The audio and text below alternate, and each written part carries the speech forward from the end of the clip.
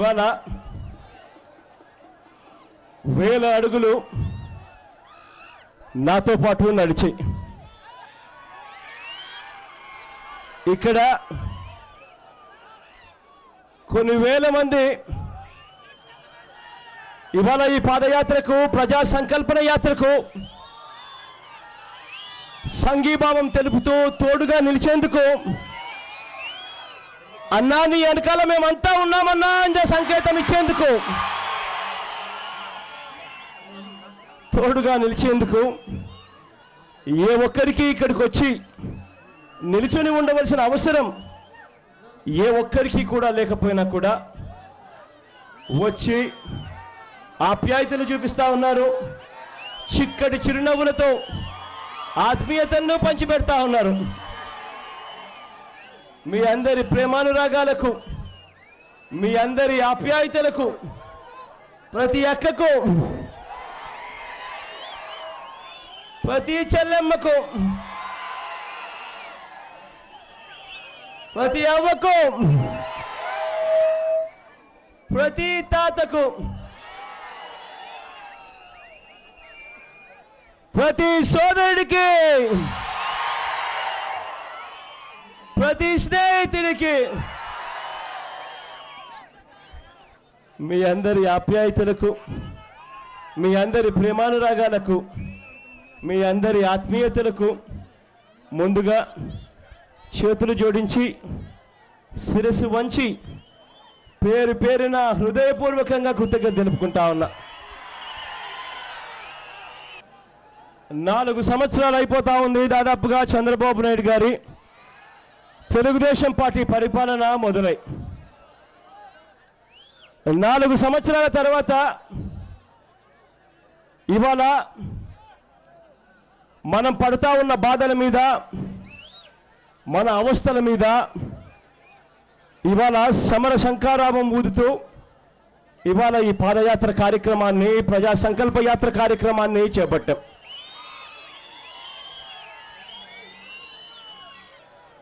నాలుగు సంవత్సరాలుగా మీరంతా కూడా చంద్రబాబు నాయుడు గారు తెలుగుదేశం పార్టీ పరిపాలన చూశారు. ఇవాళ నేను మిమ్మల్ని అతన్ని నేను మీ మనస్సాక్షి మీద చేతులు వేసుకొని ఒక్కసారి పరిశీలించుకొని ఒక్కసారి మన గుండెల మీద మనం చేతులు వేసుకొని ఒక్కసారి మనంతా మనం ప్రశ్నించుకోవాల్సిన అవసరం ఉంది. మనకు ఎలాంటి పరిపాలన కావాలి అనే ఆలోచనలు చేయవలసిన అవసరం ఉంది. కారణం ఏంటంటే ఇవాళ నుంచి బహుశా ఒక సంవత్సరం లోపు ఎన్నికలు జరగబోతా ఉన్నాయి కాబట్టి మనమంతా కూడా ఆలోచనలు చేసుకోవాలి.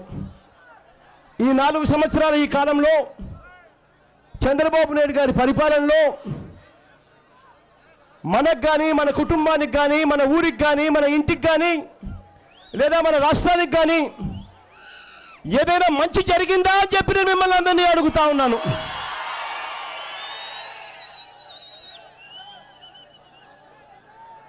ఎన్నికలప్పుడు ఇదే చంద్రబాబు నాయుడు గారు మైకు పుచ్చుకొని ఏం మాట్లాడాడు? ఎన్నికలప్పుడు ఇదే చంద్రబాబు నాయుడు గారు టీవీలలో ఏమి ఏం అడ్వర్టైజ్మెంట్లు ఇచ్చాడు? ఎన్నికలప్పుడు నాలుగు సంవత్సరాల కిందట ఇదే చంద్రబాబు నాయుడు గారు గోడల మీద ఏమి రాతలు రాయించాడు. నేను అడుగుతా ఉన్నాను ఇవాళ. నాలుగు సంవత్సరాల తర్వాత అడుగుతా ఉన్నా. ఇదే తెలుగుదేశం పార్టీ ఇదే చంద్రబాబు నాయుడు గారు ఎన్నికలప్పుడు ఇచ్చిన ఏ ఒక్క వాగ్దానాలైనా నెరవేర్చాడా అని అడుగుతా ఉన్నాను మిమ్మల్ని అందరినీ కూడా. ఆ రోజు ఇదే పెద్ద మనిషి ఏమన్నాడు? రైతుల రుణాలన్నీ పూర్తిగా బేషరతుగా మాఫీ కావాలి అని అంటే బాబు ముఖ్యమంత్రి కావాలి అన్నాడు. ఆ రోజు ఇదే పెద్ద మనిషి ఏమన్నాడు? బ్యాంకుల్లో పెట్టిన బంగారం ఇంటికి తిరిగి రావాలి అని అంటే బాబు ముఖ్యమంత్రి కావాలి అని అన్నాడు. నాలుగు సంవత్సరాల తర్వాత నేను మిమ్మల్ని అడుగుతా ఉన్నాను. చంద్రబాబు నాయుడు గారు చెప్పినట్టుగా ఆయన ఇచ్చిన రుణమాఫీ అనే పథకం కనీసం వడ్డీలకు కూడా సరిపోని పరిస్థితిలో ఇవాళ పథకాన్ని జరుపుతా ఉంటే న్యాయమేనా అని అడుగుతా ఉన్నాడు. నాలుగు సంవత్సరాల తర్వాత మిమ్మల్ని అడుగుతా ఉన్నా. బ్యాంకుల్లో పెట్టిన మీ బంగారం ఇంటికి వచ్చిందా అని అడుగుతా ఉన్నారు మిమ్మల్ని అందరినీ కూడా?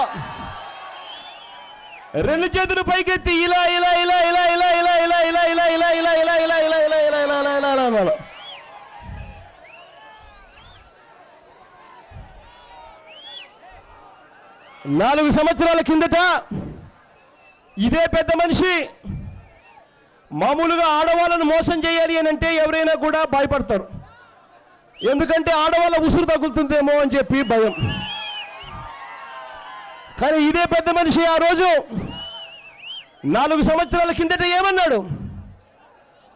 పొదుపు సంఘాల అక్క చెల్లెమ్మలకు సంబంధించిన రుణాలన్నీ కూడా పూర్తిగా మాఫీ కావాలి అని అంటే బాబు ముఖ్యమంత్రి కావాలి అని అన్నాడు.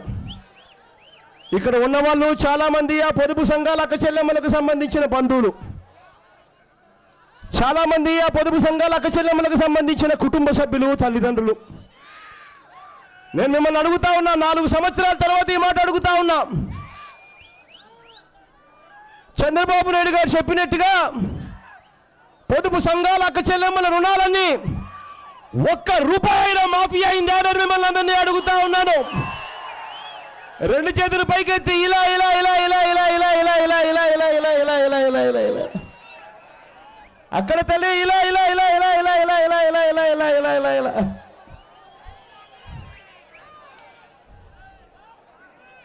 నాలుగు సంవత్సరాల కిందట ఎన్నికలప్పుడు ఇదే ముఖ్యమంత్రి గారు ఇదే పెద్ద మనిషి. ఏమన్నాడు ఆ రోజు? జాబు కావాలి అని అంటే గట్టిగా అబ్బా వినపడ్డంలా జాబు కావాలి అని అంటే జాబు కావాలి అని అంటే అన్నాడా? జాబు కావాలి అని అంటే బాబు రావాలి అని అన్నాడా? జాబ్ ఇవ్వకపోతే ఏం చేస్తానన్నాడు ఇంటింటికి రెండు వేల రూపాయలు రెండు రెండేళ్ళు చూపించి ఏమన్నాడు? ఇంటింటికి రెండు వేల రూపాయలు ఇస్తానన్నాడా నెల నెల? అన్నాడా లేదా? నలభై ఐదు నెలలు అవుతా ఉంది దాదాపుగా చంద్రబాబు నాయుడు గారి పరిపాలన వచ్చి. అంటే ప్రతి ఇంటికి నలభై ఐదు నెలలు ఇంటూ రెండు వేలు. అంటే తొంభై వేల రూపాయలు. బాకీ పడ్డాడా లేదా అని అడుగుతా ఉన్నాను మిమ్మల్ని అందరినీ కూడా.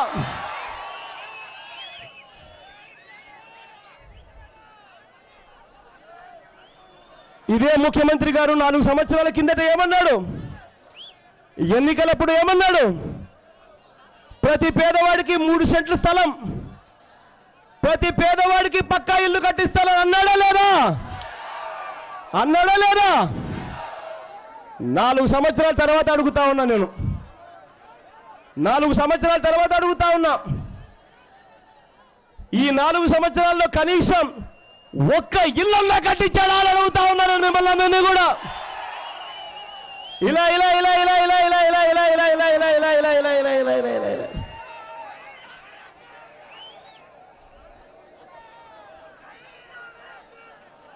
ఈ ముఖ్యమంత్రి గారి పరిపాలన చూసి నాలుగు సంవత్సరాల తర్వాత మిమ్మల్ని అడుగుతా ఉన్నా నాలుగు సంవత్సరాల కిందట ఇదే చంద్రబాబు నాయుడు గారి పరిపాలన రాకమునుపు మీ కరెంటు బిల్లు ఎంత వస్తా ఉన్నది అని అడుగుతా ఉన్నా నేను. ఇవాళ చంద్రబాబు నాయుడు గారి పరిపాలనలో నాలుగు సంవత్సరాల తర్వాత మిమ్మల్ని అడుగుతా ఉన్నా. ఇవాళ మీ కరెంటు బిల్లు ఎంత వస్తా ఉంది అని అడుగుతా ఉన్నా నేను. ఐదు వందలా? ఆరు వందల? వెయ్యా?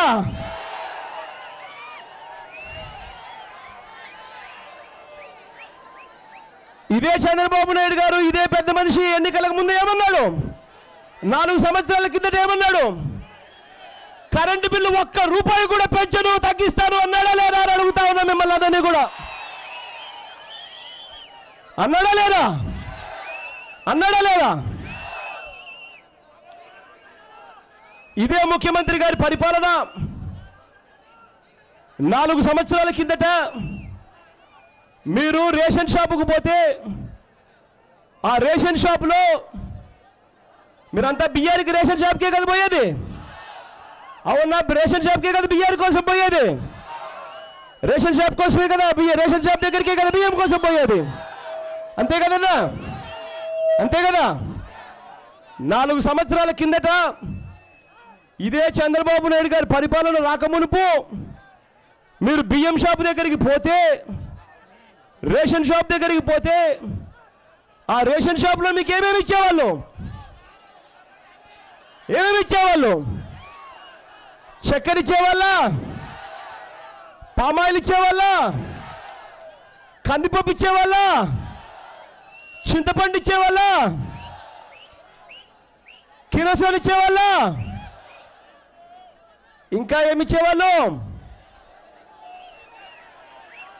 ఇవాళ నాలుగు సంవత్సరాల చంద్రబాబు నాయుడు గారి పరిపాలన తనలో నేను అడుగుతా ఉన్నా ఇవాళ మీరు రేషన్ షాపుకు పోతే మీకు బియ్యం తప్ప ఏమైనా ఇస్తా ఉన్నాడా అని అడుగుతా ఉన్నా నేను మిమ్మల్ని అందరినీ కూడా రెండు చేతుల పైకెత్తి ఇలా ఇలా ఇలా ఇలా ఇలా ఇలా ఇలా ఇలా ఇలా ఇలా ఇలా ఇలా ఇలా ఇలా ఇలా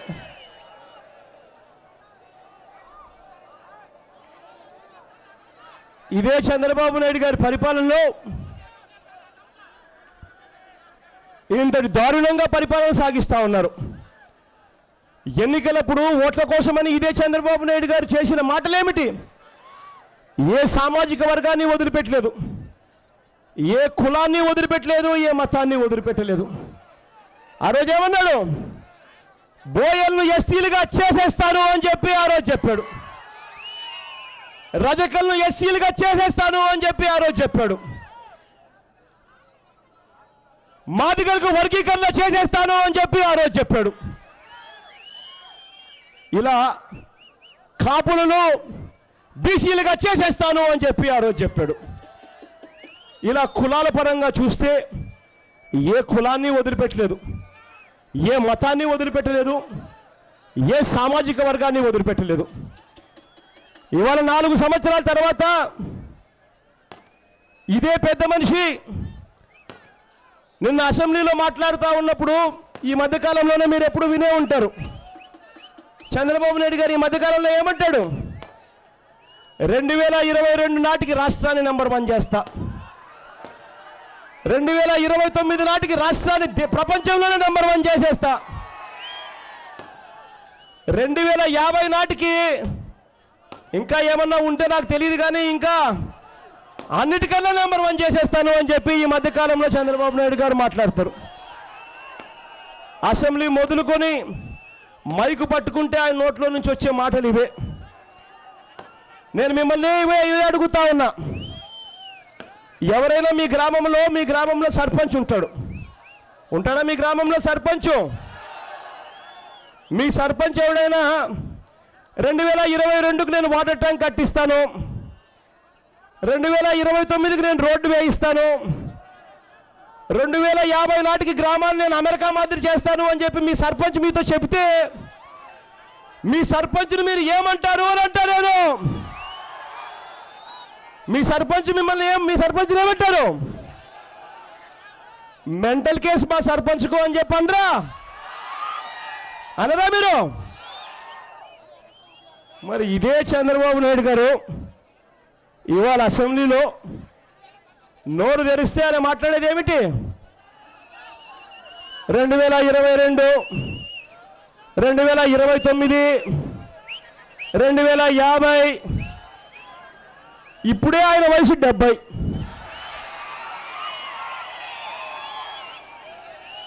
ఇక రెండు వేల యాభై వచ్చేసరికి ఆయన వయసు ఎంత ఉంటుందో నాకైతే తెలీదు. రెండు వేల ఇరవై తొమ్మిది అంటే ఆయన వయసు ఎనభై దాటిపోతుంది. ఇంకా పెద్ద మనిషి ఇవాళ ఏం చేస్తున్నావు చెప్పయ్యా? అంటే ఇవాళ ఏం చేస్తున్నాడో చెప్పడు కానీ రెండు వేల ఇరవై తొమ్మిది రెండు వేల యాభై ఎక్కడ చంద్రబాబు నాయుడు గారు ఏమీ మోసము అని అడుగుతా ఉన్నా నేను. కానీ చంద్రబాబు నాయుడు గారు రెండు వేల ఇరవై తొమ్మిది కథ దేవుడు ఎరుగు రెండు వేల యాభై కథ దేవుడు ఎరుగు ఇవాళ చంద్రబాబు నాయుడు గారు రాష్ట్రాన్ని మాత్రం చాలా వాటిల్లో నెంబర్ వన్ చేశాడు. ఏ దాంట్లో నెంబర్ వన్ చేశాడో తెలుసా? రైతులను అప్పుల పాలు చేయడంలో నెంబర్ వన్ చేశాడు చంద్రబాబు నాయుడు గారు. రైతులనే కాదు రాష్ట్ర ప్రభుత్వాన్ని కూడా అప్పుల పాలు చేయడంలో నెంబర్ వన్ చేశాడు. ఏ దాంట్లో నెంబర్ వన్ చేశాడో తెలుసా చంద్రబాబు నాయుడు గారు? రాష్ట్రాన్ని అవినీతిలో నెంబర్ వన్ చేశాడు. ఏ దాంట్లో చంద్రబాబు నాయుడు గారు నెంబర్ వన్ చేశాడో తెలుసా? అబద్ధాలు ఆడడంలో రాష్ట్రాన్ని నెంబర్ వన్ చేశాడు. ఏ దాంట్లో నెంబర్ వన్ చేశాడో తెలుసా? మద్యం అమ్మకాల్లో రాష్ట్రాన్ని నెంబర్ వన్ చేశాడు చంద్రబాబు నాయుడు గారు. ఏ దాంట్లో నెంబర్ వన్ చేశాడో తెలుసా? చిన్నపిల్లలు ఇంతకుముందు నాన్నగారి హయాంలో గొప్ప గొప్ప చదువులు చదవాలని చెప్పి నాన్నగారు ఆశించి పిల్లలను పేదరికం అడ్డు రాకూడదు. పిల్లలు ఇంజనీరింగ్ చదువుతారా డాక్టర్ చదువుతారా కలెక్టర్ వంటి పెద్ద పెద్ద చదువులు చదువుతారా మీరు చదవండి నేను దగ్గర నుండి చదివిస్తాను అని చెప్పి ముఖ్యమంత్రిగా అని చెప్పేవాడు. ఇవాళ ఆయన ఏ దాంట్లో నెంబర్ వన్ చేశాడో తెలుసా? ఆ చదువుకుంటున్న ఆ ఫీజులను ఆ పిల్లల ఫీజులను ఎగరగొట్టడంలో నెంబర్ వన్ చేశాడు. ఆ చదువుకుంటున్న పిల్లల ఫీజులు పెంచడంలో నెంబర్ వన్ చేశాడు ఇవాళ. ఇవాళ రాష్ట్రం చంద్రబాబు నాయుడు గారు ఏం చేశారో తెలుసా? నెంబర్ వన్గా ఆంధ్రప్రదేశ్ను ఆరోగ్య ఆంధ్రప్రదేశ్ను ఒకటి సున్నా ఎనిమిది నెంబర్ కొడితే కోయ్ కోయ్ కోయ్ కోయ్ అంటూ ఇరవై నిమిషాల్లోనే అంబులెన్స్ వచ్చి బాగోలేని ఆ పేదవాడిని తీసుకొని పోయి పెద్ద హాస్పిటల్లో ఉచితంగా వైద్యం చేయించి చిరునవ్వుతో ఆ పేదవాడిని ఇంటికి పంపించే పరిపాలన నుంచి ఇవాళ ఏ దాంట్లో నెంబర్ వన్ చేశారో తెలుసా? ఆరోగ్య ఆంధ్రప్రదేశ్ను అనారోగ్య ఆంధ్రప్రదేశ్గా చేయడంలో ఆయన ఇవాళ నెంబర్ వన్ అయ్యాడు. ఆయన ఏ స్థాయిలో ఆరోగ్యశ్రీని తూట్లు పడిచాడంటే ఇవాళ మీలో ఎవరికైనా కూడా ఆరోగ్యం బాగలేకపోతే మీరు హైదరాబాద్కు పోకూడదట. మీరు హైదరాబాద్కు పోతే మీకు వైద్యం అందదట. చంద్రబాబు నాయుడు గారు హాస్పిటల్కి డబ్బులు ఇవ్వరట. నేను అడుగుతా ఉన్నా ఏమయ్యా చంద్రబాబు నాయుడు గారు నీకు కానీ నీ కొడుకు కానీ బాగోలేకపోతే అమెరికాకు పోయి నువ్వు వైద్యం చేయించుకుంటావు ప్రభుత్వం ఖర్చుతో? బాగోలేని పేదవాడు హైదరాబాద్కు పోయి వైద్యం చేయించుకుంటే నీకేమైనా కష్టమాయా? చంద్రబాబు నాయుడు గారిని అడుగుతా ఉన్నా నేను. ఇంతటి దారుణంగా కత్తిరించే కార్యక్రమాలు చేస్తా ఉన్నాడు. ఇదే కర్నూలు జిల్లా తీసుకోండి. ఇదే పనగాలపల్లి నియోజకవర్గమే తీసుకోండి. ఇవాళ రైతుల పరిస్థితే తీసుకోండి. ఇవాళ ఇదే పనగాలపల్లి నియోజకవర్గంలో శనగ పంట ఎక్కువ వేస్తారు. నేను అడుగుతా ఉన్నా ఇవాళ శనగ పంటకు గిట్టుబాటు ధర ఉందా అని అడుగుతా ఉన్నా మిమ్మల్ని అందరినీ కూడా నేను రెండు చేతుల పైకి ఎత్తి ఇలా ఇలా ఇలా ఇలా ఇలా ఇలా ఇలా ఇలా ఇలా ఇలా ఇలా ఇలా ఇలా ఇలా ఇవాళ శనగ పంటకు నాలుగు వేల రూపాయలు కొనేవాడు లేడు రైతులు ఆ పంట అమ్ముకోలేక గిట్టుబాటు ధర లేక ఏం చేయాలో తలకాయ పట్టుకుంటా ఉన్నారు ఇవాళ శనగకు గిట్టుబాటు ధర లేదు మినుముకు గిట్టుబాటు ధర లేదు. పత్తికి గిట్టుబాటు ధర లేదు. మిర్చికి గిట్టుబాటు ధర లేదు. ఇవాళ ఏ వేరుశనగకు మిర్చి గిట్టుబాటు ధర లేదు. చివరకు నేను అడుగుతా ఉన్నా ఈ ప్రాంతం బనగానపల్లె అంటే బనగానపల్లె మామిడి పండుగ ఫేమస్. బనగానపల్లె మామిడి పండు కన్నా గిట్టుబాటు ధర ఉందని అడుగుతా ఉన్నాను మిమ్మల్ని అందరినీ కూడా. ఏ పంటకు గిట్టుబాటు ధర లేదు.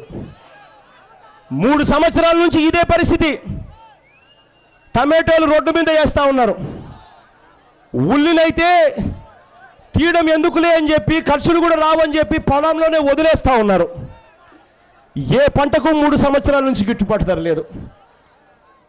ఇదే బనగానిపల్లి సంబంధ నియోజకవర్గానికి సంబంధించి ఇక్కడే ఇదే ప్రాజెక్టులే. ఇవే ప్రాజెక్టులు మీరు చూసుకోండి. పక్కనే గోరకల్లు ప్రాజెక్టు కనిపిస్తుంది. గోడకల్లు ప్రాజెక్టులో మామూలుగా అయితే పన్నెండు పదమూడు టీఎంసీల నీళ్ళు స్టోర్ చేయాలి. నేను అడుగుతా ఉన్నా ఇవాళ మేము మూడు సంవత్సరాలుగా ఇదే గోడకల్లు ప్రాజెక్టులో రెండు మూడు టీఎంసీల కన్నా ఎప్పుడైనా ఎక్కువ స్టోర్ చేశారా అని అడుగుతా ఉన్నా నేను.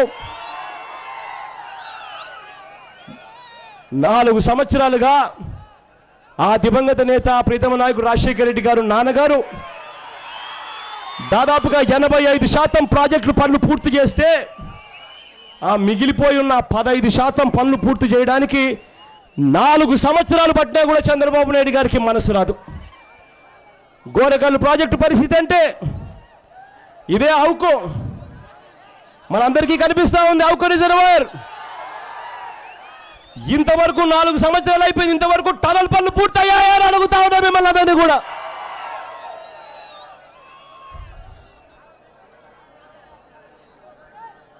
ఇదే ప్రాజెక్టులో పోతిరెడ్డిపాడు నుంచి నలభై నాలుగు వేల క్యూసెక్కుల ఫ్లడ్ఫ్లో డిశ్చార్జ్తో ఈ ప్రాజెక్టు పూర్తి చేసి పోతిరెడ్డిపాడు నుంచి నలభై నాలుగు వేల క్యూసెక్స్ కన్నా పూర్తిస్తే ఆ ఫ్లడ్ఫ్లో కెనాల్ వర్కులు పూర్తి చేస్తే రాయలసీమే కాదు ప్రకాశం నెల్లూరు దాకా కూడా ప్రతి ప్రాజెక్టు ఇవాళ కలకల్లాడుతూ ఉండేది. చంద్రబాబు నాయుడు గారు పుణ్యానా? నాలుగు సంవత్సరాలు అయిపోయింది. ప్రాజెక్టులలో నీళ్ళుండవు. చంద్రబాబు నాయుడు గారు గొప్పతనం ఏమిటో తెలుసా? రాయలసీమలో ఉన్నప్పుడు కోస్తా ఆంధ్ర గురించి చెప్తాడు. కోస్తా ఆంధ్రలో ఉన్నప్పుడు రాయలసీమకు బ్రహ్మాండంగా నీళ్ళు ఇచ్చాను అని చెప్పి కోస్తా ఆంధ్రలో చెప్తాడు. ఎందుకనంటే అక్కడ వాళ్ళకి ఇక్కడ గురించి తెలియవు. ఇక్కడ వాళ్ళకి అక్కడ గురించి సరిగ్గా తెలియదులే అని చెప్పి ఇష్టం వచ్చినట్టు బొంకేయచ్చు అని చెప్తా ఉన్నాడు. ఈ మధ్యకాలంలో చంద్రబాబు నాయుడు గారు ఏమన్నాడు? తన పార్టీకి సంబంధించిన ఎమ్మెల్యేలు అందరినీ పోలవరం దగ్గర తీసుకెళ్ళాడు. తీసుకెళ్ళాడా? తీసుకెళ్ళి ఏం చెప్పించాడు? ఏం చెప్పించాడు? పట్టిసీమ ఆయన కట్టాడట. పట్టిసీమ నీళ్ళు రాయలసీమకి ఇచ్చాడట. నేను అడుగుతా ఉన్నాను మిమ్మల్ని అందరినీ. పట్టిసీమ ఎక్కడ ఉందయ్యా చంద్రబాబు నాయుడు గారు రాయలసీమ ఎక్కడ ఉందయ్యా చంద్రబాబు నాయుడు గారు అని మిమ్మల్ని అందరినీ నేను అడుగుతా ఉన్నా. మీరంతా చంద్రబాబు నాయుడు గారు అడగమని చెప్పి అడుగుతా ఉన్నా. ఇదే చంద్రబాబు నాయుడు గారికి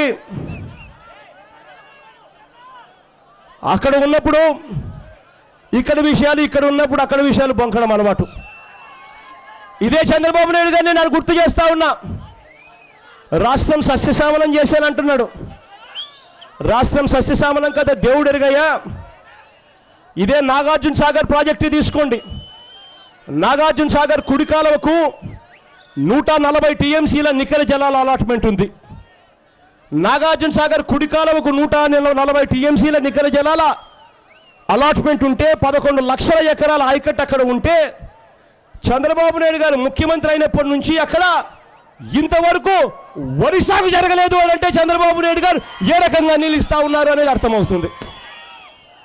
పక్కన తెలంగాణలో నాగార్జున సాగర్ ఎడం కాలువ పారుతా ఉంది. వాళ్ళు మాత్రం ప్రతి సంవత్సరం వరి వేస్తూనే ఉంటారు.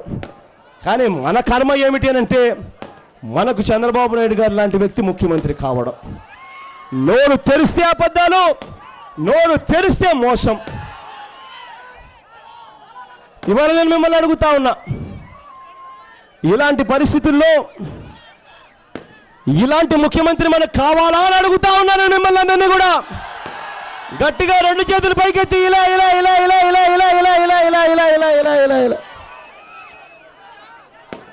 ఇలాంటి పరిస్థితుల్లో రైతులు ఆత్మహత్యలు చేసుకుంటా ఉంటే చేనేత సోదరులు ఆత్మహత్య చేసుకుంటా ఉంటే హవ్వా తాతలకు తోడుగా నిలబడేందుకు? హవ్వా తాతలు పెన్షన్లు రాక ఇవాళ నేను పాదయాత్ర చేస్తూ ఉన్నప్పుడు దారి పొడుగున అవ్వా తాతలు కనిపిస్తా ఉన్నారు. నాయన పెన్షన్ రావడం లేదు నాయన అని చెప్పి ప్రతి అవ్వా తాత ఇవాళ అడుగుతూ ఉంది. ఆహా అవ్వా తాతల కోసం తోడుగా నిలబడేందుకు? చదువుకున్న పిల్లలు వస్తూ ఉన్నారు. అవుట్ సోర్సింగ్ కాంట్రాక్ట్లో పనిచేస్తూ ఉన్న వాళ్ళు వస్తూ ఉన్నారు పిల్లలు. అన్నా ఆ రోజేమో జాబు రావాలంటే బాబు రావాలన్నాడన్నా. ఈరోజు మమ్మల్ని ఎడాపెడా ఊడబెరికే కార్యక్రమాలు చేస్తా ఉన్నాడన్నా. ఇవాళ పరిస్థితి మా జాబు ఉండాలంటే బాబు పోవాలన్నా అని చెప్పి అంటా ఉన్నారు. ఇవాళ అవుట్ సోర్సింగ్ కాంట్రాక్ట్లో పనిచేస్తా ఉన్న పిల్లలు. వాళ్ళ కోసం తోడుగా నిలబడేందుకు ఈ పాదయాత్ర. అక్క చెల్లెమ్మలు పొదుపు సంఘాల అక్క చెల్లెమ్మలు వెలవెలలాడుతూ ఉన్నారు. ఒక రూపాయి మాఫీ కాల సున్నా వడ్డీ ఎగిరిపోయింది పావులా వడ్డీలు ఎగిరిపోయాయి. ఆ అక్క చెల్లెమ్మలు అవస్థలు పడతా ఉంటే ఆ అక్క చెల్లెమ్మలకు తోడుగా నిలిచేందుకు ఈ పాదయాత్ర కార్యక్రమం చేశాం. ఇవాళ నేను మీ అందరికీ కూడా ఒకటి చెప్తా ఉన్నా. ఇటువంటి పాలన పోవాలి. రేపొద్దున ఎటువంటి పాలన రావాలి అని అంటే రాజకీయ నాయకుడు ఎవరైనా మైకు పట్టుకొని ఈ మాదిరిగా నేను ఫలానిది చేస్తాను అని చెప్పి ఏదైనా రాజకీయ నాయకుడు చెప్తే ఆ ఫలాన్ని ఆ రాజకీయ నాయకుడు చేయలేకపోతే ఆ రాజకీయ నాయకుడు పదవికి రాజీనామా చేసి పోవాల్సిన పరిస్థితిలోకి రావాలి. అప్పుడే ఈ వ్యవస్థ బాగుపడుతుంది. ఇవాళ రాజకీయ వ్యవస్థ చెడిపోయింది. ఇవాళ రాజకీయ వ్యవస్థ ఎంతగా చెడిపోయింది అంటే అధికారం కోసం పదవుల కోసం ఎవరైనా అబద్ధాలు ఆడుతూ ఉన్నారు. పద ప్రజలను మోసం చేయడం సులభం అని చెప్పి ఎవరైనా అబద్ధాలు ఆడి మోసం చేసే పరిస్థితిలోకి వచ్చినారు. వాళ్ళు అబద్ధాలు ఆడినా మోసం చేసినా కూడా ప్రజలు ఏమీ చేయలేని పరిస్థితిలో నిస్సహాయ పరిస్థితిలో ప్రజలు చూస్తూ ఉన్నారు. ఆ నిస్సహాయ పరిస్థితిలో ఉన్న ప్రజలను చూసి ఈ రాజకీయ నాయకులు వెటకారం చేస్తూ నవ్వుతూ ఉన్నారు. ఈ రాజకీయ వ్యవస్థ మారాలి.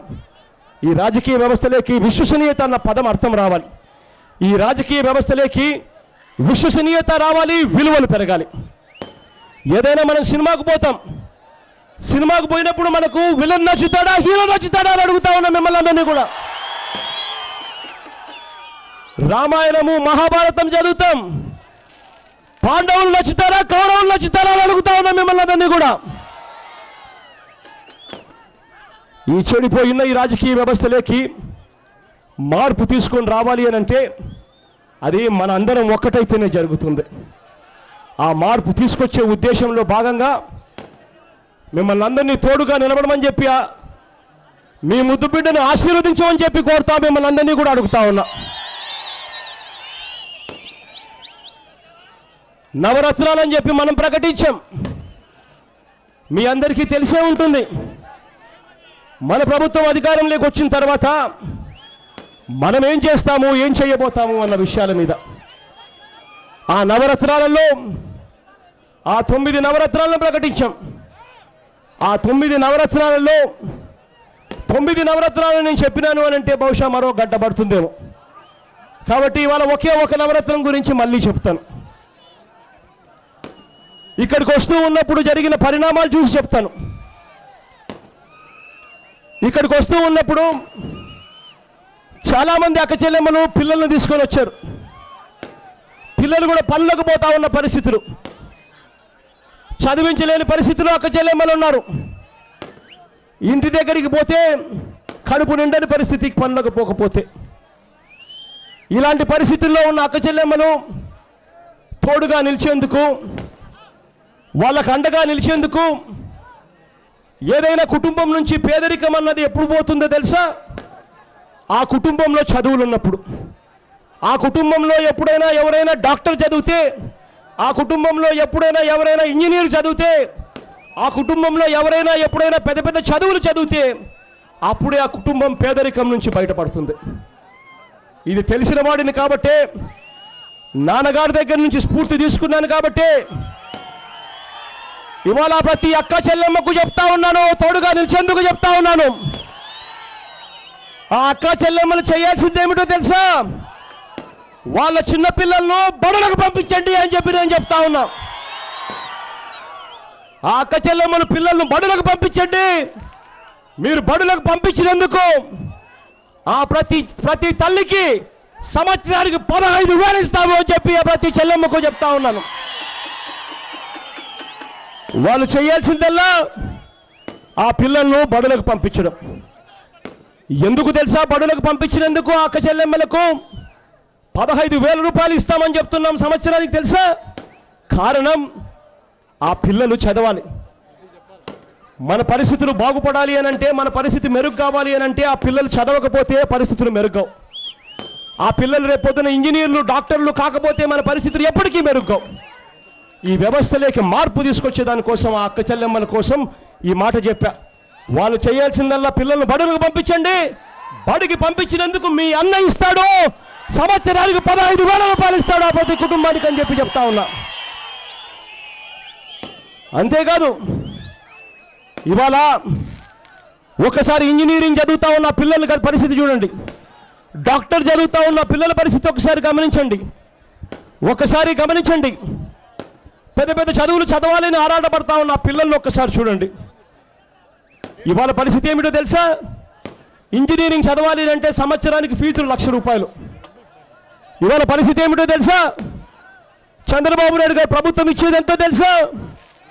కేవలం ముప్పై ఐదు వేల రూపాయలు ముప్పై వేల రూపాయలు ముష్టి చేసినట్టు ఇస్తారు. అది కూడా సంవత్సరం సంవత్సరంన్నర తర్వాత ఇస్తే గొప్ప సంగతి.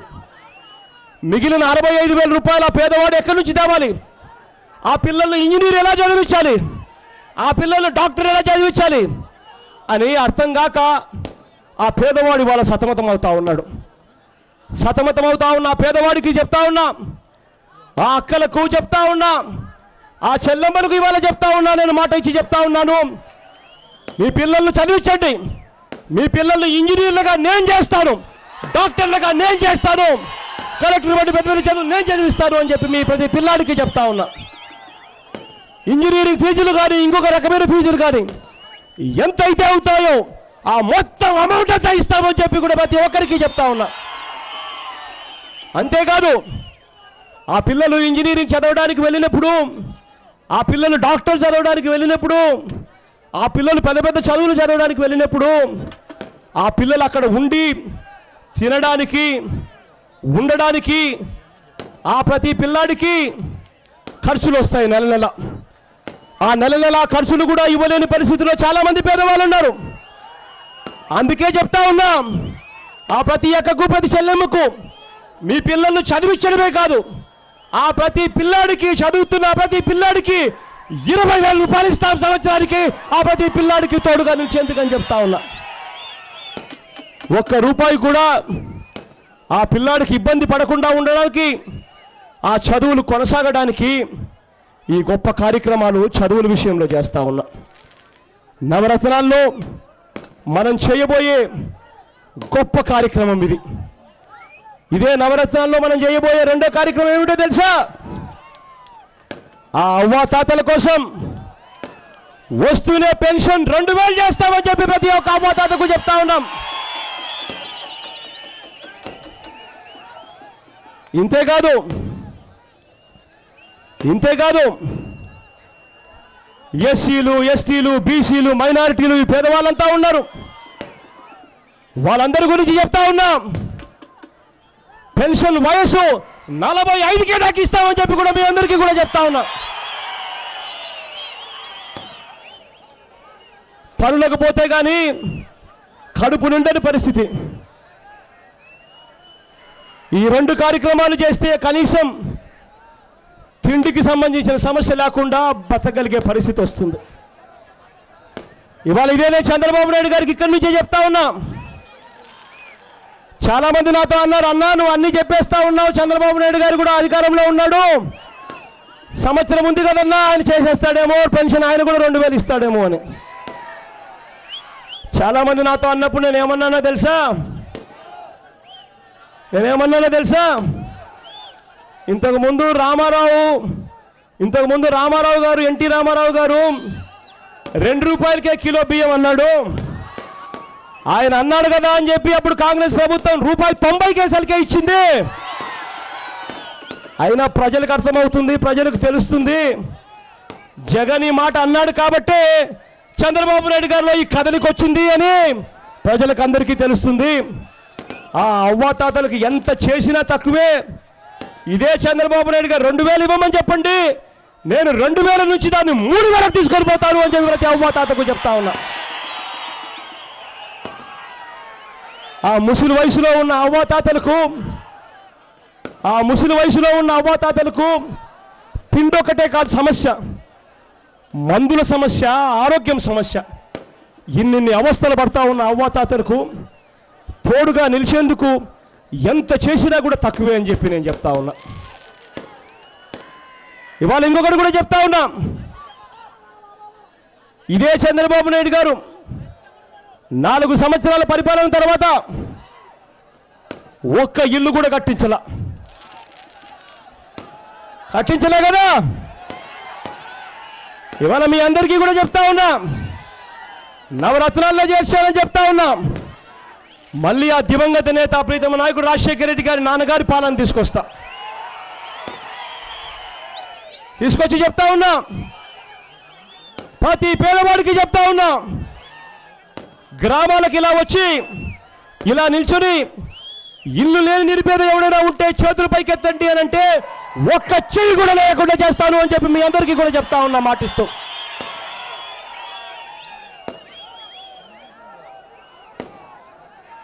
ఇవాళ ఇదే నవరత్నాల కార్యక్రమాల్లో భాగంగా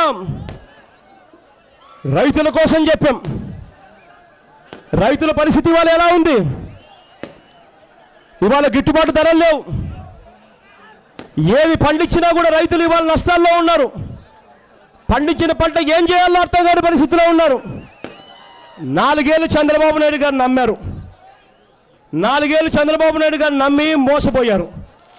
ఇవాళ అదే రైతన్నులకు చెప్తా ఉన్నా. మీ అందరి ఆశీస్సుల వల్ల దేవుని దయ వల్ల రేపు పొద్దున వచ్చేది మనందరి ప్రభుత్వం వచ్చినప్పుడు.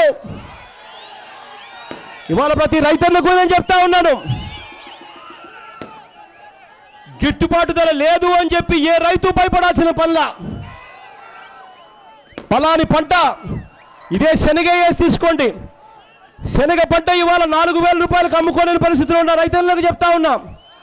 పంట వేసే ముందే సంవత్సరం మొదలుకొని సంవత్సరానికి ముందే శనగ పంట ఎనిమిది వేల రూపాయలకు ప్రభుత్వం కొంటుంది అని చెప్పి డిక్లేర్ చేస్తాం. ఇలా ప్రతి పంటకు ఏ రేటుకు ప్రభుత్వం కొంటుంది అని చెప్పి ఏ రేటు అయితే గిట్టుబాటు అవుతుంది అన్నది ముందే చెప్పి ఆ ప్రతి రైతుకు తోడుగా నిలబడేందుకు పూర్తిగా ఉంటాం. దీనికోసం మూడు వేల కోట్ల రూపాయల ధర స్థిరీకరణ తీసుకొచ్చి పెడతాను అని చెప్పి మీ అందరికీ కూడా చెప్తా ఉన్నా. ప్రతి రైతుకు అండగా నిలిచేందుకు అవసరమైతే ఇంకా ఎక్కువగా తీసుకొచ్చి పెడతానని చెప్పి కూడా మీ అందరికీ కూడా చెప్తా ఉన్నా. ఇదే రైతన్నలు కరెక్ట్గా మే సమయంలో ఖరీఫ్ సీజన్ జూన్లో మొదలవుతుంది. ఖరీఫ్ సీజన్ జూన్లో మొదలైనప్పుడు రైతన్నలకు అప్పులు పుట్టవు బ్యాంకులు లేకపోతే బ్యాంకుల దగ్గర నుంచి డబ్బులు ఇవ్వాలి అంటే రకరకాల షరతులు. బ్యాంకులు ఇవ్వాలి అంటే ఇబ్బందులు పడే పరిస్థితి. వర్షం ఒక వైపున వచ్చే పరిస్థితి కనిపిస్తూ ఉంది జూన్లో. మరోవైపున రైతన్నుల దగ్గర డబ్బులుండవు. ఆ ప్రతి రైతన్నకు ఆ పరిస్థితి రాకుండా ఉండేందుకు ప్రతి రైతన్నకు పన్నెండు వేల ఐదు వందలు ఇస్తాము. కరెక్ట్గా జూన్ మాసంలో మే మాసంలో అని చెప్పి మీ అందరికీ కూడా చెప్తా ఉన్నా. ఇవాళ మీ అందరికీ కూడా ఇంకొక విషయం కూడా చెప్తా ఉన్నా. నవరత్నాలలో ఇవన్నీ కూడా ప్రకటించాం. కానీ నవరత్నాల్లో ప్రకటించిన ఇవన్నీ కూడా ఏదైనా మీరు మార్పులు చెప్పినారు అని అంటే ఆ మార్పులు వినడానికి నేను సిద్ధంగా ఉండ. సలహాలు ఇవ్వమని చెప్పి మిమ్మల్ని అడుగుతా ఉన్నా. ఆలోచనలు ఇవ్వమని చెప్పి మిమ్మల్ని అడుగుతా ఉన్నా. ప్రతి అంశము కూడా మేనిఫెస్టో లెవెల్లోకి వెళ్ళేసరికి మేనిఫెస్టో చంద్రబాబు నాయుడు గారి మాదిరి ఇంత ఇంత కట్టలు ఉండవు ఇవాళ చంద్రబాబు నాయుడు గారి మేనిఫెస్టో ఎక్కడ ఉంది అని చెప్పి తెలుగుదేశం వెబ్సైట్లో ఎతికితే ఎక్కడ మేనిఫెస్టో కనిపించదు.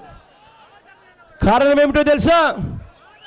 చంద్రబాబు నాయుడు గారి మేనిఫెస్టో వెబ్సైట్లో కనిపించింది అని అంటే ప్రజలు చంద్రబాబు నాయుడు గారిని కొడతారు తన మోసానికి అని చెప్పి భయం చంద్రబాబు నాయుడు గారికి ఉంది. చంద్రబాబు నాయుడు గారి మాదిరి ఇంతింత బుక్కులు పెట్టాం. ప్రతి కులాన్ని ఎలా మోసం చేయాలి అని చెప్పి ఇన్ని పేజీలు పెట్టాం. మన మేనిఫెస్టో కేవలం రెండు మూడు పేజీలు పెడతాం. ఆ రెండు మూడు పేజీల మేనిఫెస్టోలో కూడా మీ దగ్గర నుంచి వచ్చిన సలహాలతో మీ నోట్లో నుంచి వచ్చిన మాటలతో మీరే దిద్దిన మేనిఫెస్టో తీసుకొస్తాం.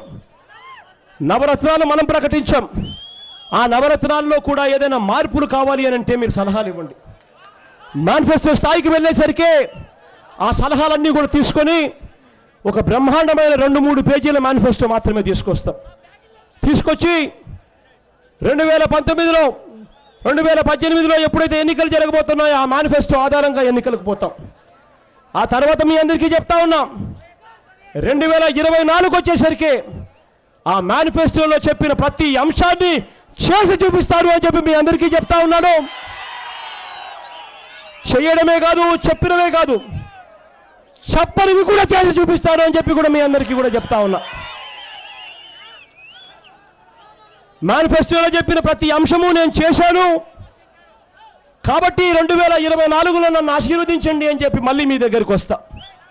ఈ చెడిపోయి ఉన్న ఈ రాజకీయ వ్యవస్థలోకి విశ్వసనీయత అన్న పదానికి అర్థం తీసుకొని వస్తా. ఈ అర్థం తీసుకొచ్చే కార్యక్రమంలో భాగంగా మీ అందరి తోడ్పాటు కోరుతూ సలహాలు ఇవ్వమని చెప్పి మిమ్మల్ని అందరినీ కూడా సందర సలహాలు ఇవ్వమని చెప్పి మిమ్మల్ని అందరినీ కూడా కోరుతా ఉన్నా. కాసేపటి కిందనే ఎమ్మెల్యే గారు. మన పార్టీ రామిరెడ్డి అన్న.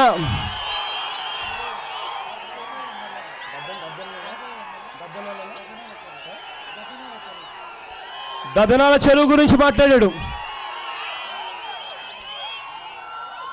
హందిరేనివా నుంచి నీళ్ళు తీసుకొని వచ్చి దదనాల చెరువులో కలిపితే ఈ ప్రాంతం అంతా సస్యశాలం అవుతుందన్నాడు ఖచ్చితంగా చేస్తాను అని చెప్పి మీ అందరికీ కూడా చెప్తా ఉన్నా.